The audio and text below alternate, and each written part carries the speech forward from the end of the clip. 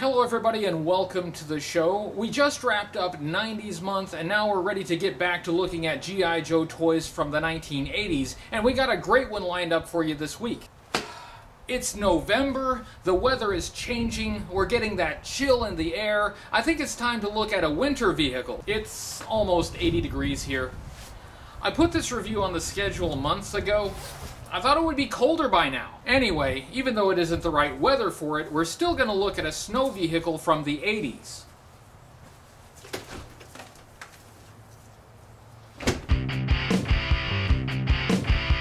Lieutenant Cobra Commander 788 here.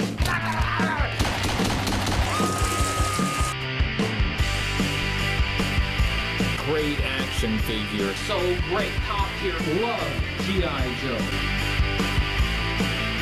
Great! I- I'm in hell! Slaughterize it! Sarge, Sarge! Wait a minute. Ready! Ready! Ready. Silent kill.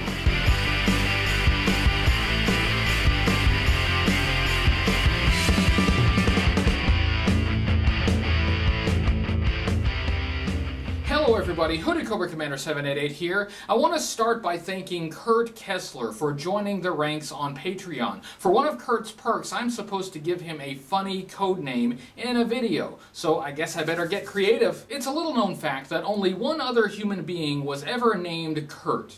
Very uncommon name, and that person was Kurt Cobain. Also, in keeping with the tradition of making code names by just adding the word Viper, Kurt I dubbed the the Flannel Viper. Hmm? Grungy? Post punk? Hmm? Flannel Viper, welcome to the ranks. Now, let's get back to the 80s. This week's review covers a popular vehicle from 1987, the Cobra Wolf. G.I. Joe already had a couple snow vehicles. In 1987, you could finally send a Cobra snow vehicle up against them. The Wolf had a driver, the Ice Viper. Now, that's not nearly as cool a code name as Flannel Viper. The figure came with some unusual accessories. Let's see why these toys were so popular. HCC 788 presents the Cobra Wolf and the Ice Viper. By the way, I'm wearing a tie because I just got off work. There's no special significance to it. This is the Cobra Wolf and the Ice Viper from 1987. This vehicle and figure were sold together in 1987 and 1988 and were discontinued for the year 1989.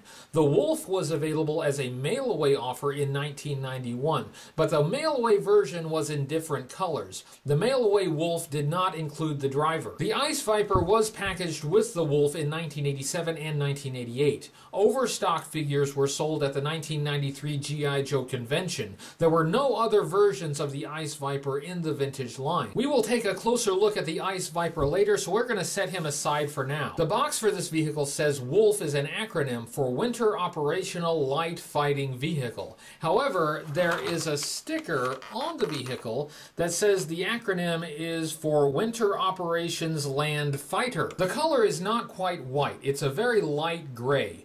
This was Cobra's first dedicated snow vehicle. Cobra had earlier vehicles that were white or off-white and would have worked fine in a snowy environment. Some examples being the Snake Armor, the Claw powered glider, and the Trouble Bubble. These weren't snow vehicles though, they were just vehicles in a light color. Before 1987, Cobra didn't have a vehicle that was dedicated for winter operations. Before 1987, G.I. Joe had two snow vehicles, the Polar Battle Bear from 1983 and the Snowcat from 1985.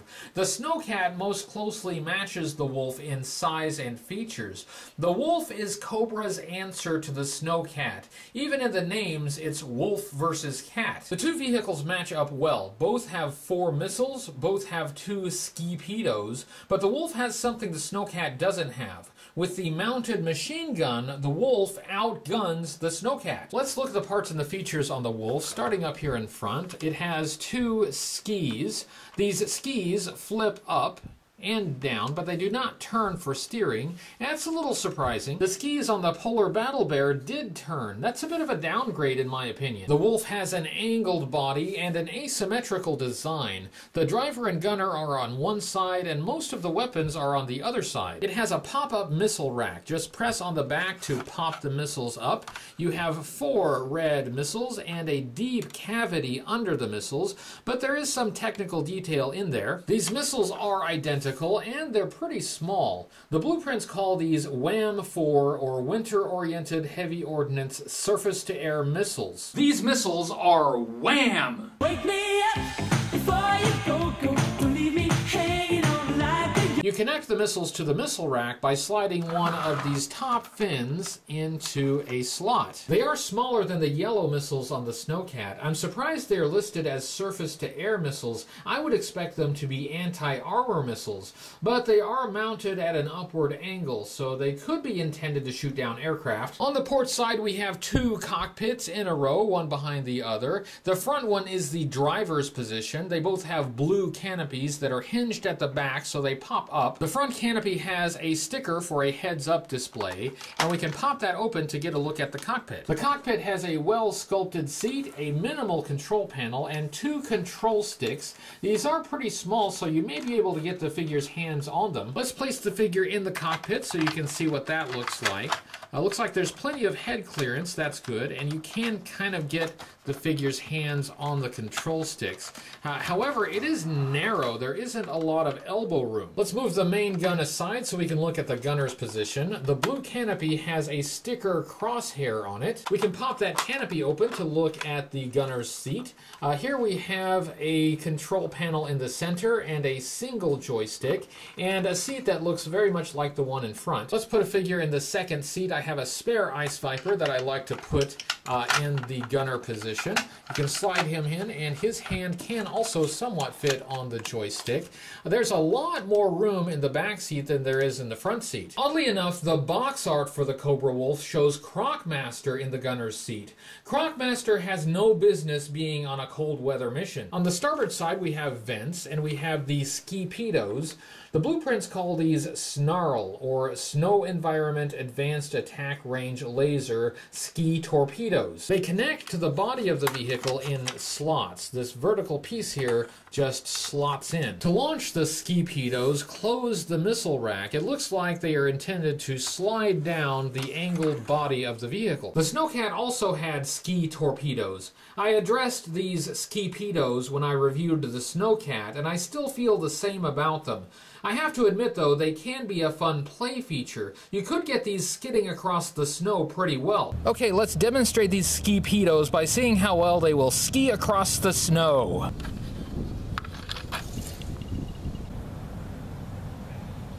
Yeah, we haven't had snow here since 2015. Next, we have the machine gun. The blueprints call it Ripper, pivoting 20mm repeating cannons. Named after the Dreadnok Ripper? That's a surprising choice. The gun can pivot all the way around 360 degrees and it can elevate. The gun is mounted on an angled post and that can be a weak point and a common point of breakage, so do be careful with that. There are kill marks on the body of the vehicle and these markings are the logo for the Snowcat. So this Cobra Wolf has apparently killed four snowcats. The wolf has its own logo, a nice wolf's head logo here. On either side of the vehicle we have intake vents. Toward the back we have three foot pegs on each side. They're pretty close together. You may not be able to use all three at the same time. You can use these foot pegs to carry snow serpents, Cobra's polar assault trooper. The colors on the wolf match up very nicely with the snow serpents, so that looks great. On each side we have removable skis and those skis each have two foot pegs. You can use the ski as a snowboard for a figure, but the platform with the foot pegs is raised, so it's kind of like skiing on stilts. I guess you could put both on the same figure and use them as skis. It works. The wolf has a pair of fake treads, one on each side. It actually rolls on wheels. But the connector point for those wheels is extremely weak and breaks frequently. I did a fix-it job on one of the treads to keep the wheel attached. It's easier to fix these things than to find an unbroken one. With the side skis attached, it has another feature. The treads fold up. This is so it can slide on the skis only. This would be for a silent downhill attack. Unfortunately, only one of my treads folds up. The other one is way too tight, and I don't want to force it because I'm worried about breaking it. There is a little bit of molded detail on the underside, but I'm not sure why they bothered. Most of it is hollow. The back of the vehicle has a lot of technical detail and looks great, but it doesn't have any other features back here.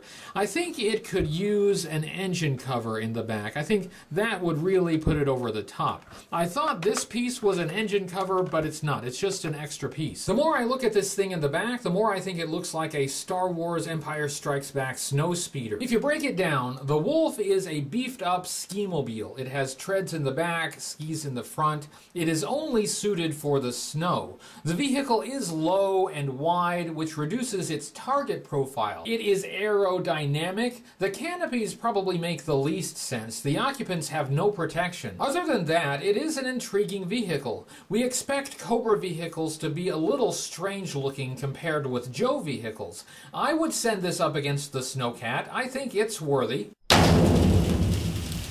Now let's look at the Ice Viper. There weren't many Cobra Snow Troopers released by 1987. Before the Ice Viper, you only had the Snow Serpent. The Snow Serpent was a fantastic figure from 1985. According to the file card, Ice Vipers are Snow Serpents, but more specialized. Unless I'm mistaken, Cobra didn't have another dedicated winter environment trooper until 1991 with Snow Serpent version 2. In the meantime, G.I. Joe had several cold weather specialists by 1987. They had Snow Job in 1983, Frostbite in 1985, Iceberg in 1986, and Avalanche from Battle Force 2000 in 1987. Let's look at Ice Viper's accessories. He had a helmet, a gray helmet with goggles sculpted on, and a band that goes around. This helmet looks almost identical to the sculpted on helmet from the Kenner Star Wars AT-AT Commander. It's the same color, the same basic shape, even some of the details are the same.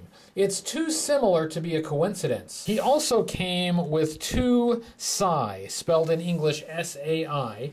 These are martial arts weapons. Why would the Ice Viper come with martial arts weapons? I guess you could use these as ice picks. They are made out of a soft, flexible plastic. These are not likely to break. These Sai have a bonus feature. They peg into slots on the thighs of the figure, so they actually holster on the figure. That is a rare feature on a vintage G.I. Joe action figure indeed, uh, and it's nice to have. Let's take a look at the articulation on the Ice Viper. He had the articulation that was standard for G.I. Joe figures by 1987, meaning he could turn his head from left to right and look up and down. He could swing his arm up at the shoulder and swivel at the shoulder all the way around.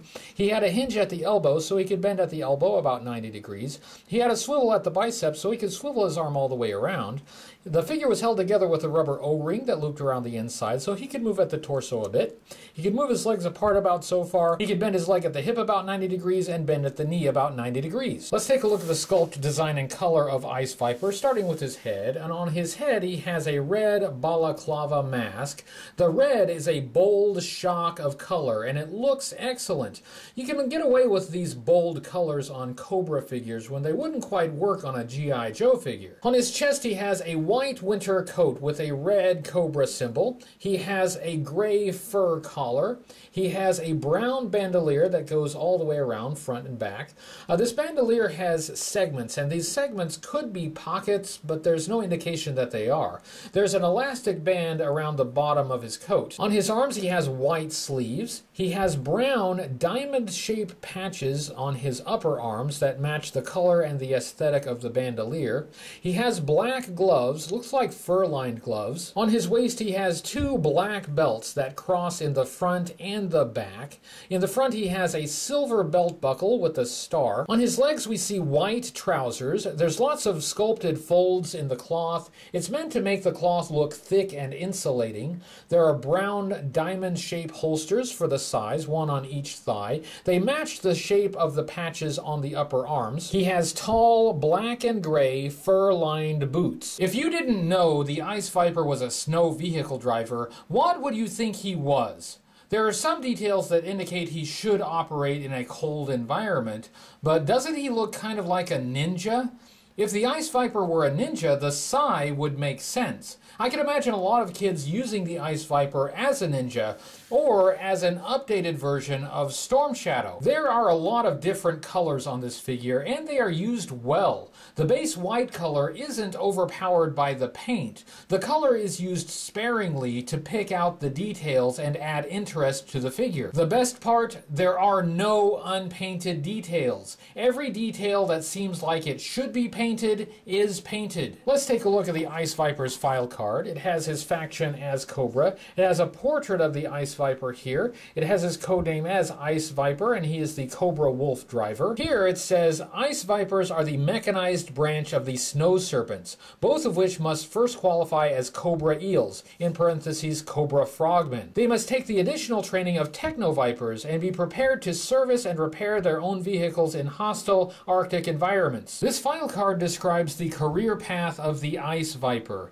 He starts out as a Cobra Eel and becomes a Snow Serpent. Add Techno Viper training and you have an Ice Viper. A nice Viper? How nice! Ice vipers are fed a special high fat diet to help retain body heat and have their faces depilated to prevent frost from their breath icing up their beards. Here is our vocabulary word for the day. Depilate means to remove the hair from. So they have to be clean shaven. That's all that means. This bottom paragraph sounds best when read like a Ford truck commercial. When it's 40 degrees below zero on the tundra and everybody's buttoning up tight in their shelter because the ice storm is blowing from the north. That's when you have to worry about the ice viper sneaking up on you. Out there in the big whiteness, there isn't any place to hide. Whoever bundles up first because he figures it's too cold to fight loses. Looking at how the wolf and the ice viper were used in G.I. Joe media, they didn't make it into the animated series. They were only animated for commercials. The Sunbow series was discontinued after the 1987 animated movie, so they didn't have an opportunity to get into the cartoon. Looking at the comic book series published by Marvel Comics, I am reasonably certain the Wolf and the Ice Viper first appeared in issue number 68. That was the same issue that introduced Battle Force 2000 and some other new vehicles. In that issue, Cobra tried to use paranoia-inducing radio waves in the fictional country of Frusenland. There was a spectacular snow battle with a lot of vehicles involved. They were also in Special Missions number 20. They even appeared on the cover. In that issue, the Joes in the Snowcat intervene when the Russian October Guard are attacked by Cobra Wolves. That issue has all out Arctic action. It says so on the cover. Looking at the Wolf and the Ice Viper overall, the Wolf is a middle tier vehicle. Although it has some good points, it also has some flaws. I like the asymmetrical design. That may be off putting for some people, but it works for me. The front skis should turn. The wheels and treads are too delicate. The fact that the Wolf has skis means it only operates in the snow. It is less versatile than the Snowcat, which was a half track with wheels. Despite the drawbacks, it is a fun vehicle with lots of features. The colors match up well with the Snow Serpents, and it has plenty of firepower to take out any snow vehicle the Joes throw at it. The Ice Viper, for me, is a top tier figure. I didn't expect to say that about the Ice Viper. It's just a vehicle driver, and not one I played with very much. And the accessories are peculiar. But the Ice Viper does a lot right. The colors are perfect. It has just enough color to add some pizzazz, but he's still dressed for the snow. No detail is left unpainted. He even has holsters for the accessories. This figure does everything I want a figure to do. It has earned its place in the top tier. Hey, I'm just as surprised as anyone. Not all top tier figures are created equal. The Snow Serpent is still better, but I'm happy to have the Ice Viper fighting alongside the Snow Serpent. That was my review of the Cobra Wolf and the Ice Viper. I hope you enjoyed it. If you did, please give it a thumbs up on YouTube and subscribe to the YouTube channel and share this video. Thank you again, Flannel Viper. I appreciate your support. I have a website, hcc788.com. Lots of stuff there. Go check it out. You can find me on Facebook, Twitter, and Patreon. Your support helps keep this show going. So what are we going to do next week? I think I'll let the patrons decide. That's all for now. I will be back next week with another vintage G.I. Joe toy review. I hope to see you then. And until then, remember, only G.I. Joe is G.I. Joe. Nobody beats G.I. Joe. But now Cobra's got the Sea Ray. Sea Ray is a fighting machine. Out to blast Joe to smithereens. Incredible Sea Ray splits to become a mini sub and an armored glider. Cobra! And for attacking on snow and ice, there's the Cobra Wolf. It's The Techno Viper! Cobra Wolf is vicious on ice and snow. And hot on the trail of G.I. Joe. And nobody beats G.I. Joe. A real American hero. Cobra Sea Ray and Cobra Wolf, each sold separately. Joe, Joe. Wake me up before you go, go.